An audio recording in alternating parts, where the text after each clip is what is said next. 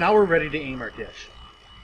To do that, we're going to need to start out by leveling the tripod. But before we can do that, notice that the dish control arm is hitting the legs. We just need to raise this dish up or set its elevation. So we're going to loosen up this nut on the side here and loosen up this nut over here. These are the elevation nuts. Then we're going to have to, we're going to go ahead and raise our dish up a little bit. We don't care what the setting is at this point. And then we're going to snug this down just to hold it up. Now that we've done that, we can rotate the dish. It doesn't get in the way of the legs.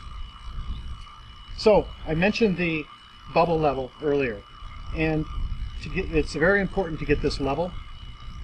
To do that, I'm going to look and see where the bubble is pointing.